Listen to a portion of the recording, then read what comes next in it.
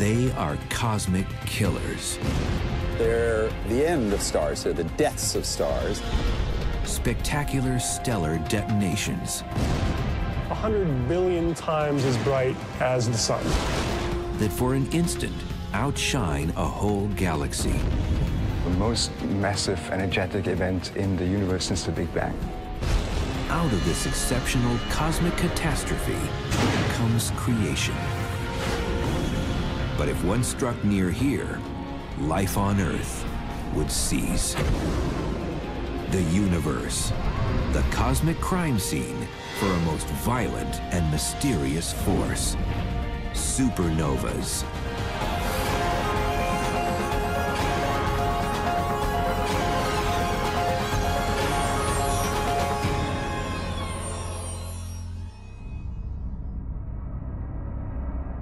Supernovas, the sensational and exceptional death of stars, produce the biggest blasts in the universe. Now, only a small minority of stars actually explode, but those that do just go kablam, blowing themselves to smithereens.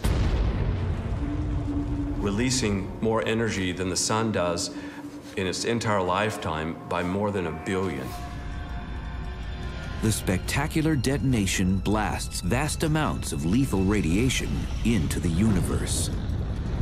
If a star at the center of the planetary system would go supernova and explode, it would probably wipe out all forms of life in that planetary system. Radiation would basically sterilize all forms of life on any planet in a planetary system.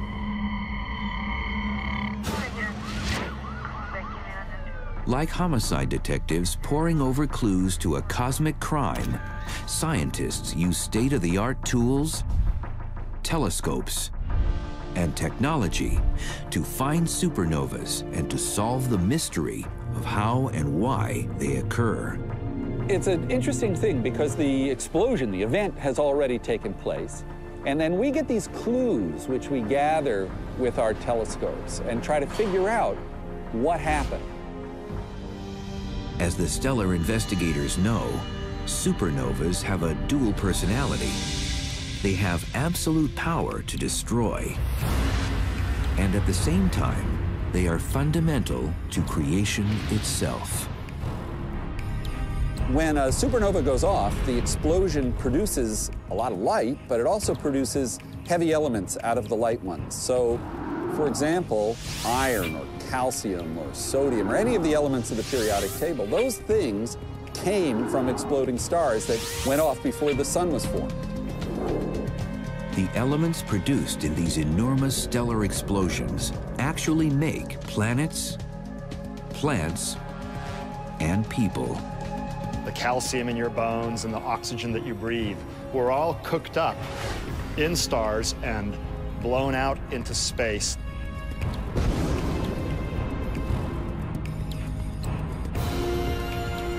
The shock waves from exploding stars can compress nearby clouds of gas and trigger their gravitational collapse so that they begin the renewed process of formation of new stars, planets, and ultimately life.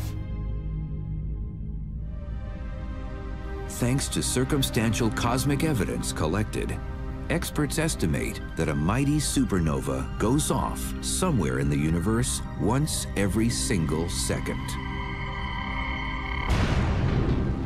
So that's something like 30 million per year, and that's been going on for the last 10 billion years or so of the universe's existence. Giving us a sense of how big the universe is, in a typical galaxy like our Milky Way, a supernova suddenly occurs only once or twice a century. However, nobody knows when the next one might come. It's a completely random process, so we have no idea when the next one will occur. It could be tomorrow, could be you know five minutes ago, could be another hundred years. We don't know. If it is very close, you would see a very bright event in the sky. It could be even brighter than the, the Venus or the planets or even the moon or maybe even the sun if it's bright enough. If a supernova is too close to you, it can definitely destroy life. The flash disrupts the atmosphere, burns things up.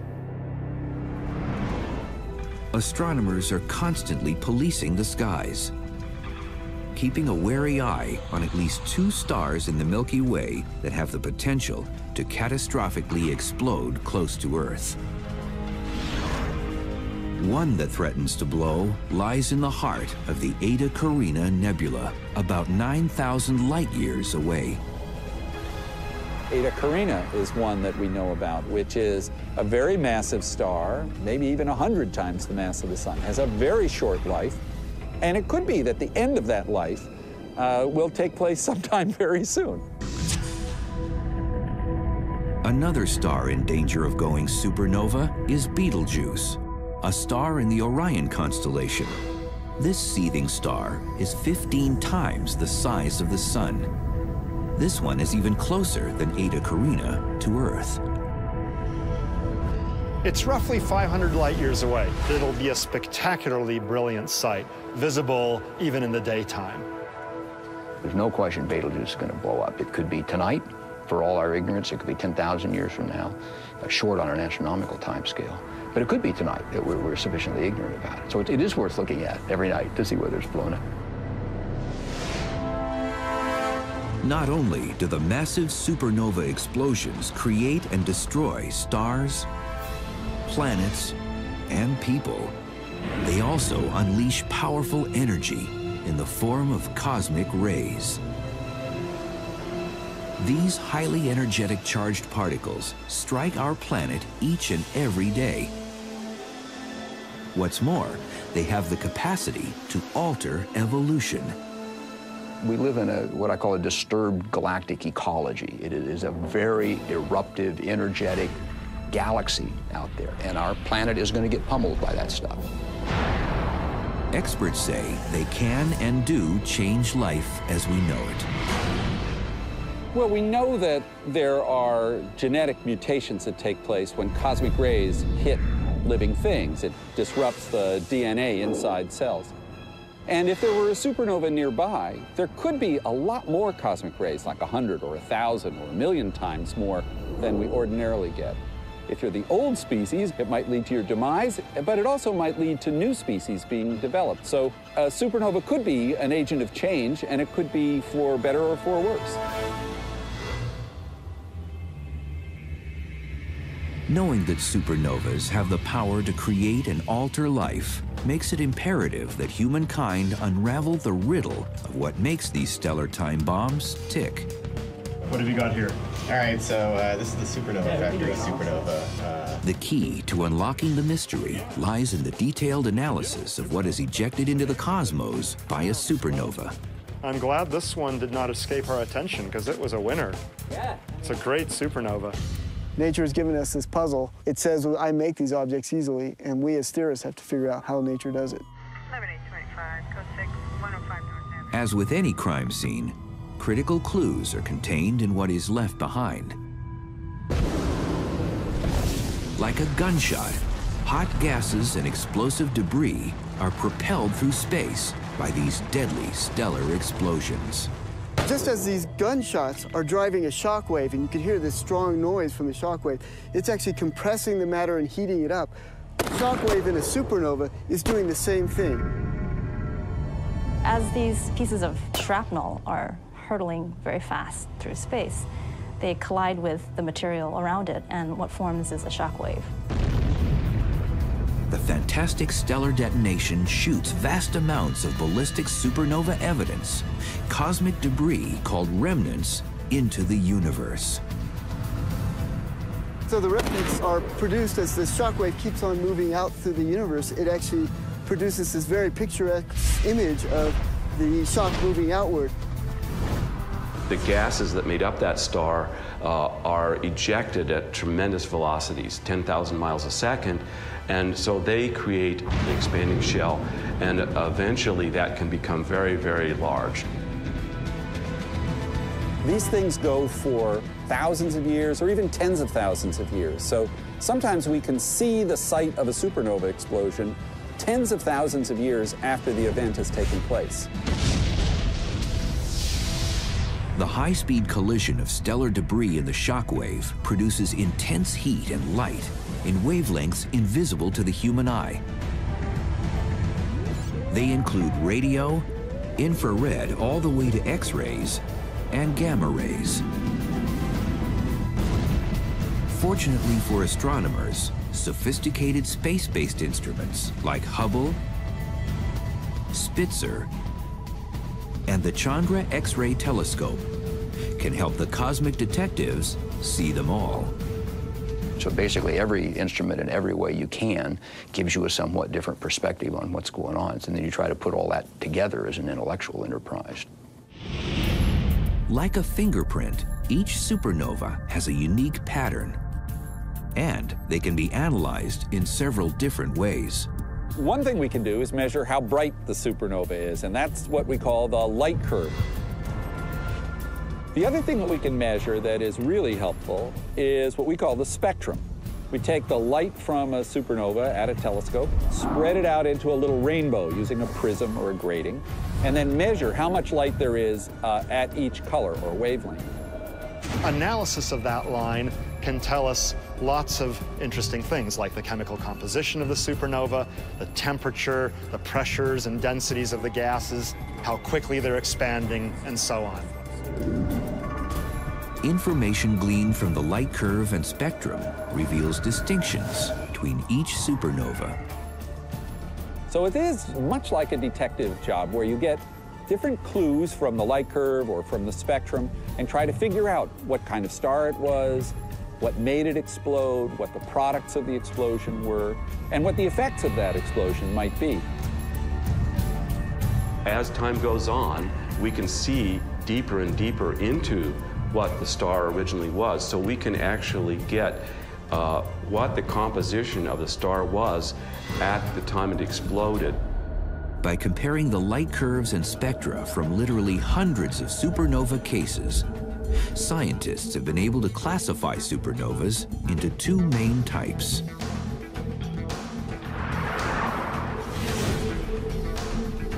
Type 1a supernova release no hydrogen. The explosions are uniform in size and luminosity. Type 2 supernova release large amounts of hydrogen.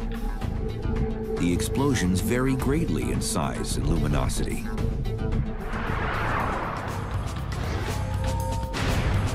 But why would there be such distinct types of exploding stars? Might they be blowing themselves apart in different ways?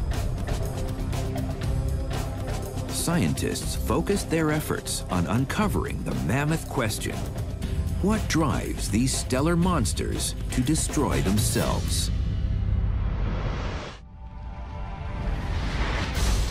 Like bounty hunters looking for bandits, today's astronomers scour the cosmos looking for deadly supernovas. With their keen eyes on the sky, they belong to a long lineage of stellar observers. In fact, the first supernova ever witnessed by man occurred in China in 185 AD, 2,000 years ago. The Chinese astronomers kept very meticulous records about what they saw in the sky. Specifically, when something new appeared, they recorded how bright it was, where it was, how long it was there.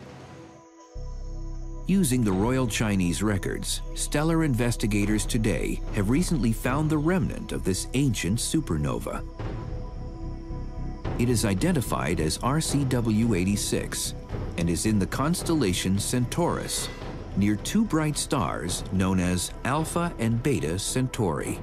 1,400 years after the Chinese discovery, the first European observer witnessed a supernova. On November 11, 1572, 26-year-old Danish astronomer Tycho Brahe was taking a walk when he witnessed a shocking stellar phenomenon in the northern sky. It was right next to the W etched by the brightest stars in the constellation Cassiopeia. Even though he saw it, and even though he was the leading astronomer of his age, he did not believe the sense of his own eyes. A few years after Tycho's remarkable sighting, his former pupil, Johannes Kepler, made his own groundbreaking observation of a new star. he measured from star to star around it the distance. And we can use that now to recreate exactly the position of where it exploded. When contemporary investigators took a closer look at Kepler's 1604 remnant, they found something very strange about it. A detailed analysis of the chemical composition of the ejected and expanding gases indicated that there were two stars that somehow conjoined to produce a gigantic explosion. So how did this companion cause the stellar catastrophe? Many stars are in binary systems, so they have a partner that is orbiting around them. And we think what happens is that one star puts mass onto the other. Experts have since found that the companion or binary scenario is the hallmark of what is called a type 1a supernova. The type 1 supernovae we think are the explosion of white dwarfs. So a star like the sun will produce a little dense nugget about the size of the Earth. When a star like the sun dies, it ejects its outer layers and leaves behind just a small, dense, burnt-out core called a white dwarf. The ashes of the sun will be a carbon and oxygen white dwarf. Left by, to its own devices, that will just last forever and cool off. But when a star has a companion, like a partner in crime, it can lead to catastrophe. One star puts mass onto that white dwarf, pushes its mass up to the point where it becomes unstable, and that there is burning that takes place in the center. And very, very rapidly, the star goes from being a kind of boring white dwarf to being a tremendously violent and brilliant supernova. But why do some white dwarfs catastrophically explode? That was figured out in 1930 by a brilliant young astrophysicist, Subrahmanyan Chandrasekhar, the Sherlock Holmes of astrophysics, on a boat trip from India to England. During this long voyage, he used the newly developed fields of quantum physics and special relativity to come up with the idea that a white dwarf can have only a certain maximum limiting mass.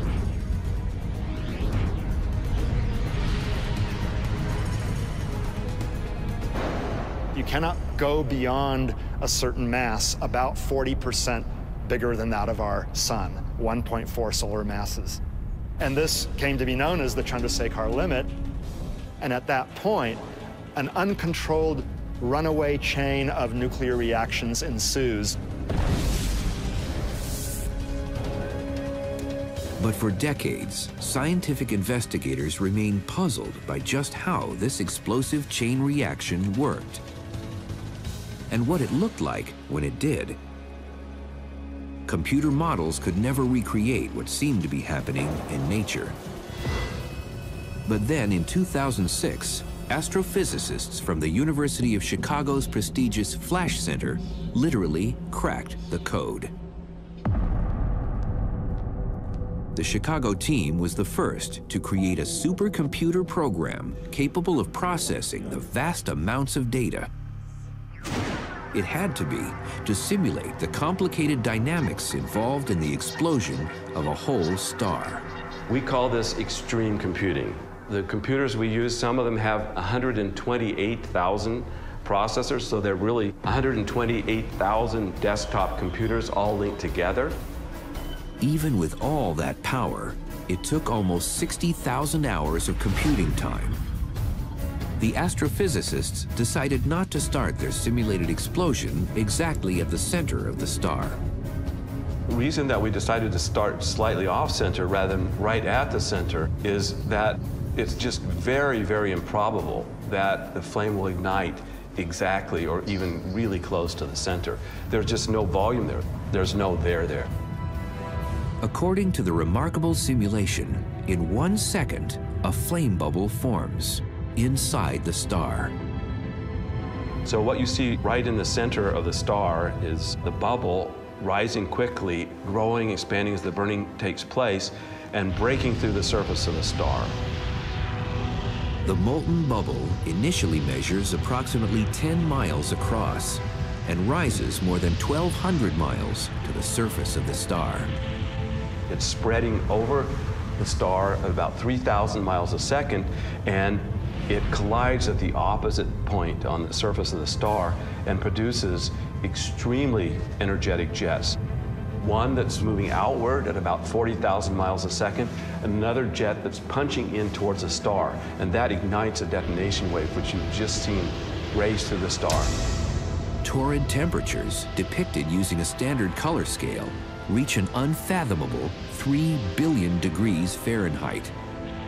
And you can see the moment it's just detonated and going through the star takes less than half a second. The whole burning phase takes less than three seconds.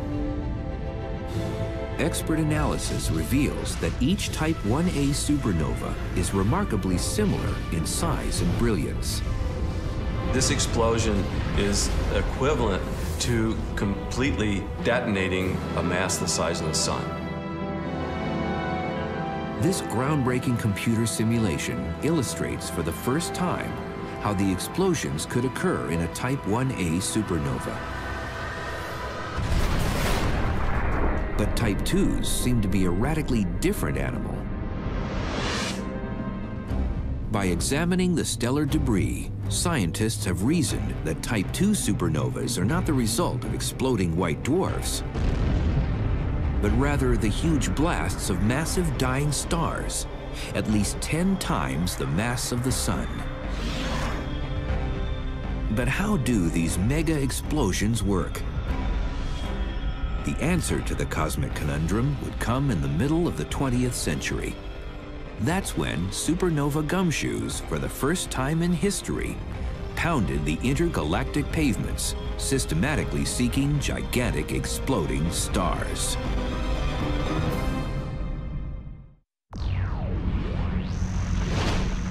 Like detectives on a stakeout, cosmic investigators constantly scan the night sky. They're looking for the telltale bright lights that are evidence of a supernova.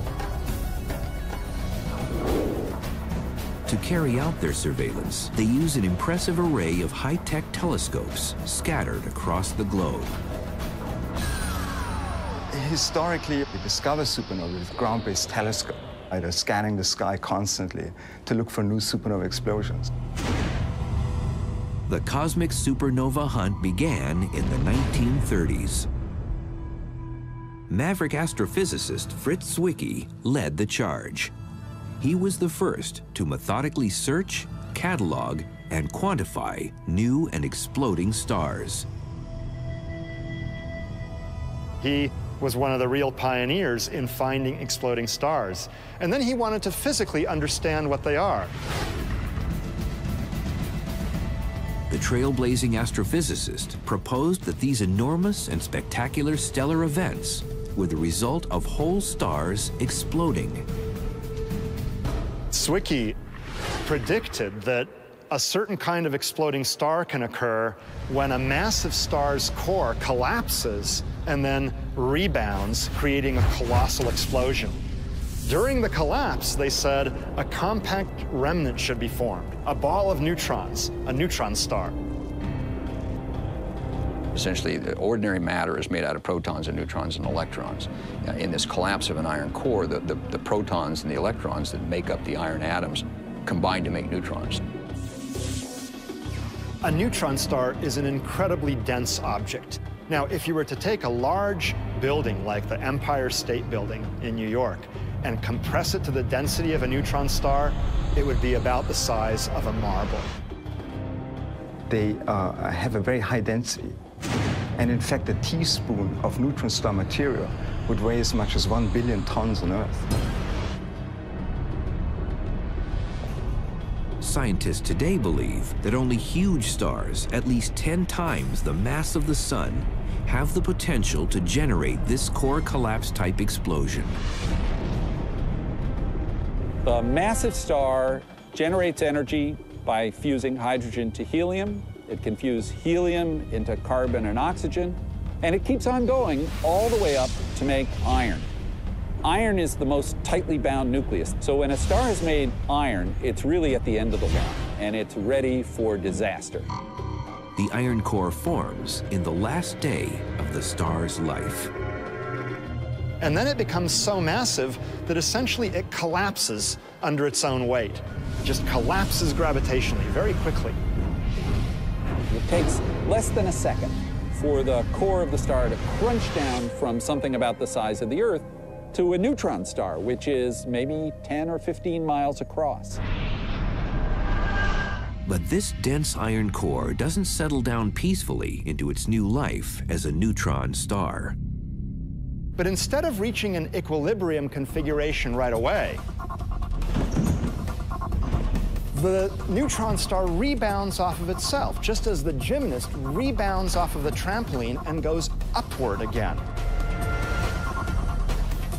Well, this rebounding neutron star collides with the material surrounding it and imparts some of its energy to that colliding material, thus initiating an ejection. However, unlike a gymnast for whom gravity ultimately prevails, pulling him back to Earth, in a core collapse scenario, something else continues to drive the ejection outward.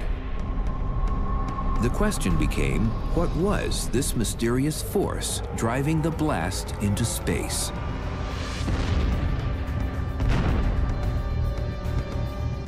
Experts calculated that in order for a successful explosion to occur, one more ingredient was needed.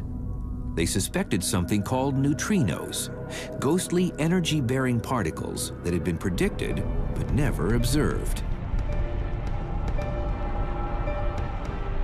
Astrophysicists believe that during a core collapse, when the electrons are pushed so close to protons in the nuclei of atoms that they combine to become neutrons, in the process, they release these tiny mysterious neutrino particles. The neutrinos are kind of interesting particles. They don't have any electric charge, so they don't interact with light. They only interact by what physicists call the weak force. And the weak force is aptly named. It means that these particles can go right through the Earth. They can go through long chunks of matter. So they're, they're like ghosts. They just go through things. For centuries, modern astronomers had been studying the remnants of supernovas in faraway galaxies from the distant past. But in 1987, they would get a front row seat to an explosion of their very own. It was the brightest supernova seen in nearly four centuries, long after the development of the telescope, so we could use our full arsenal of equipment to study this fantastic blast. In 1987, the most fantastic stellar event near our galaxy since the invention of the telescope occurred.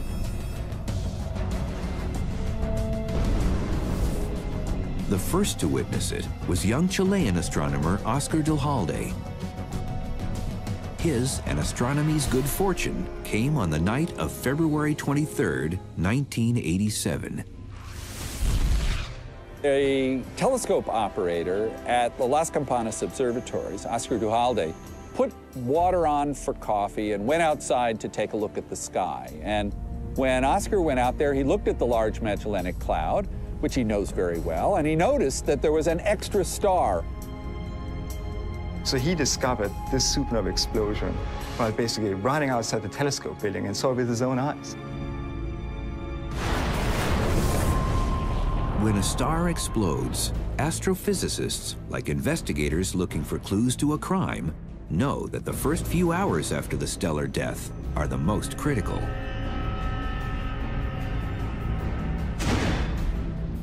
So in 1987, when the closest supernova in nearly 400 years appeared, they knew they had to act fast. It was only about 170,000 light years away, a mere stone's throw for an astronomer. Supernova 1987A was in a small galaxy called the Large Magellanic Cloud, a dwarf galaxy that orbits around our much bigger Milky Way galaxy. Being the first supernova of that year, the exceptional and nearby exploding star was simply labeled SN 1987A. But this time, dozens of seasoned astronomers all over the planet were ready for action. Armed with sophisticated tools and telescopes, they turned their minds and machines to the heavens and closely scrutinized supernova 1987A. Knowing that an exploding star is at its hottest in the first few hours and is emitting lots of light in ultraviolet wavelengths, the astral detectives sprung into action. At the time of the explosion, we saw the fastest moving stuff was coming toward us at a tenth of the speed of light. So that was the actual star blowing up. Scientists had their explosion. Now they wanted to know the name of the victim. They dug through a catalog that lists all known stars and their positions in the sky when they struck pay dirt. They found the star that exploded. It was tagged SK69202. They also determined that it was a huge star, 20 times the mass of the sun. Examining the spectral evidence, scientists could see strong lines of hydrogen. SN 1987A bore the hallmarks of a Type II core collapse supernova. But to confirm their suspicions and prove the core collapse theories, experts had to have one more piece of physical evidence. They needed neutrinos, those ghostly particles that scientists predicted would be unleashed during the blast.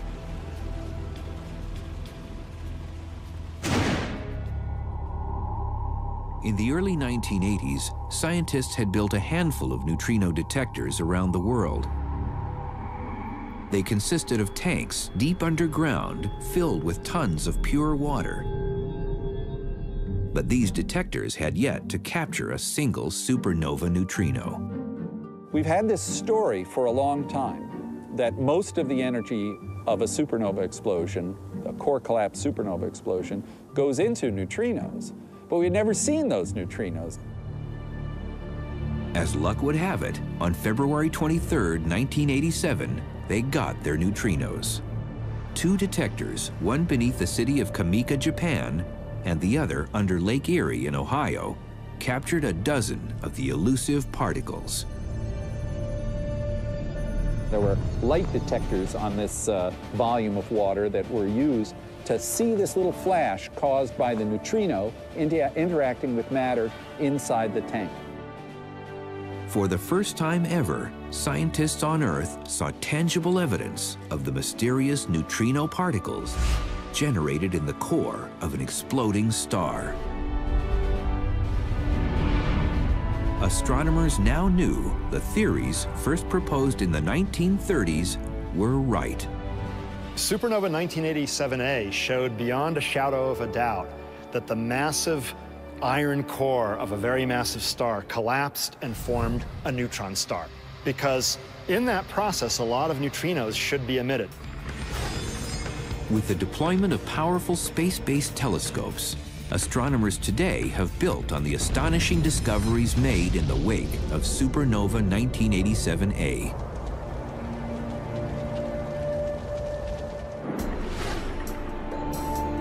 In 2006, 30-year-old astronomer Robert Quimby would once again turn conventional thinking on its head and revolutionize the way astronomers searched for supernovas. Most supernova searches, they just want to find as many supernovas as possible, so they'll look once every two weeks, every one week, just, just so you can find them and so you can look at as many fields as possible and get as many supernovae as possible. So I decided to look at a limited number of fields and look at them as often as I can. The enterprising cosmic gumshoe programmed his robotic telescope to systematically sweep the targeted field every night like an interstellar searchlight, it honed in on and methodically scanned the same small dark corner of the cosmos, looking for supernova suspects. I had software that can very quickly process the data and tell me if there's anything there that wasn't there before. And when that happens, If I think it could be a supernova, I'll get a spectrum of it. And then that spectrum of it will tell me exactly what it is. Is it a supernova? What type is it? Etc. On September 18, 2006, Quimby got his big break. He found the brightest supernova ever. This is my fourth supernova. I didn't think that I should be so lucky. And others looked at the spectra and they started taking their own measurements of the, of the photometry, how bright it was. And they figured out that, in fact, 2006 GY was brighter than any other published supernova. Very slowly. Took uh, over two months, 70 days to get the maximum light and, and then faded again. So it was a supernova unlike anything we'd ever seen before, discovered by this fourth year graduate student at the University of Texas. Analysis of the remnant indicated that the star, before it exploded, was a hundred times the size of the sun. And with lots of hydrogen showing in its spectrum, the brightest supernova ever recorded bore the stamp of a Type II event. Then Quimby topped himself. When he finally analyzed a seemingly insignificant supernova he found earlier, called SN 2005 AP, he made a stunning discovery. It was something like 100 billion times as bright as the sun, as compared to, for a Type 1a supernova, the peak may be only 6 billion times as bright as the sun. It was even brighter than SN 2006 GY. Like circumstantial evidence, astonishing discoveries of new ultra-bright supernovas like 2005 AP and others have opened up a whole new avenue of inquiry into exploding stars and their MO. The basic idea we have is that perhaps this is connected somehow to gamma ray bursts. Gamma rays are the most powerful form of light known in the universe. By analyzing supernovas, investigators are getting closer than ever to solving some of the most confounding riddles in the cosmos. How one of them makes gamma rays and the other makes an ordinary supernova is still one of the big mysteries. Nobody really knows how that works. What astronomers do know is that supernovas and the gamma ray bursts associated with them are the brightest beacons in the universe. On the galactic highway that is the cosmos, supernovas serve as celestial signposts pointing astronomers to the beginning and the end of time and space.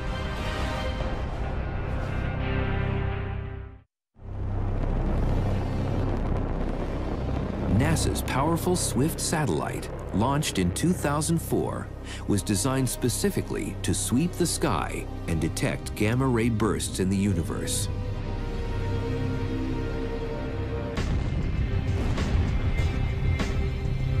Like cosmic first responders, astrophysicists at NASA's Goddard Space Flight Center in Baltimore, Maryland, are standing by 24 7, waiting for a 911 call from SWIFT. Basically, less than two minutes after SWIFT discovered a gamma ray burst, the satellite sends down emails directly to our blackberries. When a recent supernova, recorded as SN 2006 AJ, appeared, the SWIFT satellite caught the shocking gamma rays it generated. And that gamma ray burst was very interesting because, first of all, it was a very long duration gamma ray burst. Usually, gamma bursts are very short lived phenomena, only fractions of a second or a few seconds. But this gamma burst was visible for like 35 minutes. We saw three days later a supernova explosion going off at the exact same location. And this solved one of the important mysteries of gamma ray bursts because we found out that at least uh, parts of gamma ray bursts are due to massive stars that are exploding. Astronomers today can see hundreds of supernovas and the deadly gamma ray bursts they generate. On the cosmic highway, scientists use these stellar headlights to ascertain the bounds and breadth of the universe. You can use supernova to probe the universe because if they're very dim, you know they were very far away, and then you can study the curvature of space-time and all of the cosmology that you can study with them. For example, if you're on a desert highway and you're looking out at the lights of the cars, you can tell which are nearby and which are far away from the apparent brightness of the lights. The ones that are nearby look bright, the ones that are far away look dim. Measuring how far away things are very systematically will tell you about the size, the age, the shape, the history, the future of the universe. It turns out that Type 1a supernovas are the best suited for this purpose. One of the things that's really interesting about the Type 1a supernovae, the ones that are exploding white dwarfs, is that there is this fixed mass, this Chandrasekhar mass, that sets how big the explosion is, how much stuff is involved. And the consequence of that is that many of these have very nearly the same brightness. If the explosion produces the same amount of light, then we can measure how much light we see and figure out how far away the supernova is. This is known as the standard candle principle. Type 1a supernovae are like standard candles. They all have about the same peak power, the same peak luminosity. So if you look at them from different distances, they appear different apparent brightnesses. They look dimmer if they're farther away and brighter if they're more nearby. So if we find type 1a supernovae in distant galaxies and measure their apparent brightness and compare that with the known power of a nearby type 1a supernova, we can determine the distance of that supernova and hence of the galaxy in which it's located. The trailblazing technique has also led astro investigators to some radical conclusions.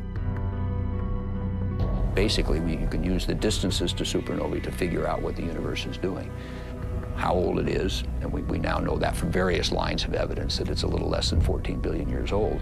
But in particular, found out the universe was accelerating when we thought it was decelerating in the grip of the gravitational materials in it. That's just caused an intellectual revolution, like throwing a ball up towards the ceiling, and rather than having it come back down into your hand, it goes faster and faster and faster towards the ceiling. It's completely counterintuitive. Basically, all the text, astronomy textbooks out there all said that the universe should be decelerating. That is, gravity should be slowing down the expansion rate. But what this result showed is that instead of slowing down, it was actually expanding faster and faster and faster.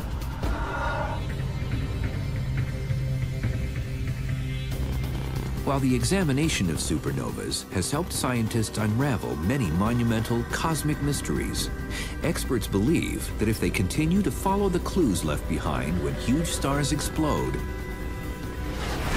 they'll be able to answer the biggest unanswered questions.